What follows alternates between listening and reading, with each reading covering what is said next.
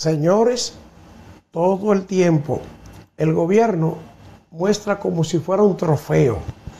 Como si fuera un trofeo, muestra el gobierno el flujo de las remesas que están llegando a territorio dominicano y que envían buenos dominicanos que salieron del territorio de República Dominicana y que se llevaron en el corazón su país y que a donde están están preocupados por lo suyo. Miren, yo conozco dominicanos que allá en Estados Unidos, en Europa, a veces se acuerdan de un amigo y dice, debe estar pasando trabajo, debe tener problemas, déjame enviarle un chelito. Y le envían a los amigos, a la familia, a todos a todos los que ellos se recuerdan de ella, le mandan sus chilitos. Siempre están buscando qué mandarle al dominicano. Y eso es fruto, eso es fruto del amor que tiene ese dominicano que se vio forzado a dejar su país para ir a trabajar a otra nación. Y esto se está reflejando en la cantidad de dinero que está entrando a República Dominicana fruto de los dominicanos que están fuera trabajando duro para producir riqueza que llegue a República Dominicana. Y los flujos de remesas alcanzaron 2.635 millones de dólares en el primer trimestre de este año. O sea, que una proyección buena la que lleva la entrada de divisa por este concepto.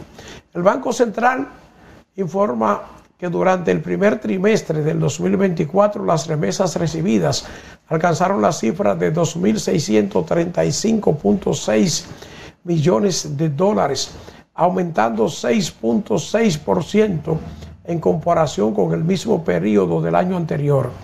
Es importante destacar que al igual que durante el año 2023 los flujos de remesas mantienen su crecimiento en términos interanuales, particularmente en el mes de marzo.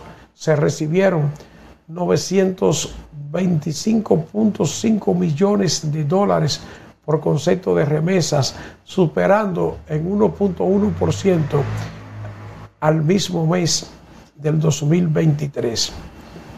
El Banco Central explica que el desempeño económico de los Estados Unidos fue uno de los principales factores que incidió sobre el comportamiento de las remesas, ya que desde ese país se originó el 86.4% de los flujos formales del mes de marzo, unos 727.8 millones de dólares.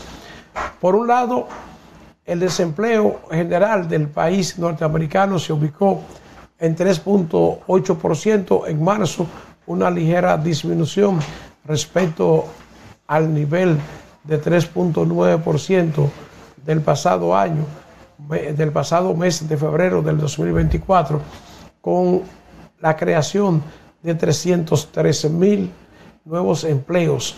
En cuanto al desempleo de los latinos, este disminuyó 4.5% en marzo tras registrar una tasa de 5% en febrero.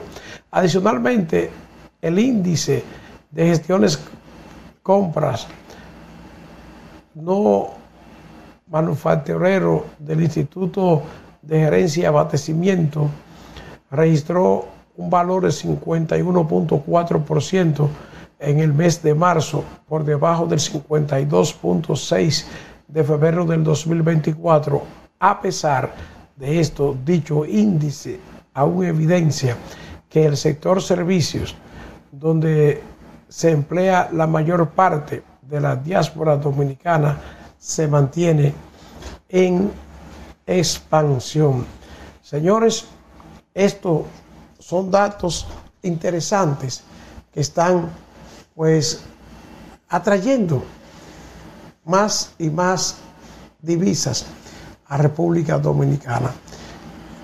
la economía del país dependiendo en gran manera de ese dinerito que envían los dominicanos desde el exterior.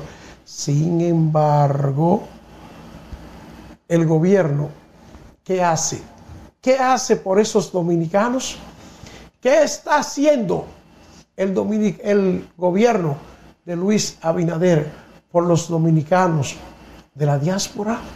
¿Qué está haciendo por ellos? Nada. ¿Qué está haciendo? Cobrándoles 20 pesos, 20 dólares cada vez que entran al país. Y por eso hay protesta. Hay una protesta señalada para este martes, martes y miércoles. Todos los días van a hacer protesta demandando que el gobierno elimine el cobro de esos 20 dólares que le cobran a los dominicanos cada vez que compran un vuelo para venir a territorio dominicano. Depende en gran manera la economía dominicana del dinero que mandan los dominicanos del exterior y cómo lo tratan. Qué mal lo trato, qué maltrato le da el gobierno a esos dominicanos que son un sostén en la economía de este país. Yo espero que el gobierno, que el gobierno piense, piense en este dominicano que tanto aporta a la economía del país. Que piense en eso.